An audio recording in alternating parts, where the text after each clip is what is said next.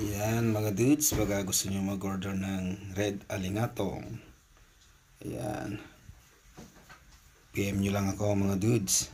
Tayo maglalaga na ng red alingatong. Ayan. Oh. Pulang pula yung gilid. Ayan mga dudes oh. Iwan natin ng maliliit. Ayan, papakuluan na natin. Ayan. Iwan natin ng tubig.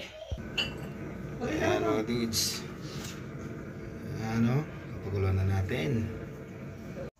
Ayan, check natin. Ayan na mga dudes. Ay, mamulan-mulan na. Ayan, ito na po yung ating red alingatong. Pulang-pula po yan. Game na po sa may gustong mag-order.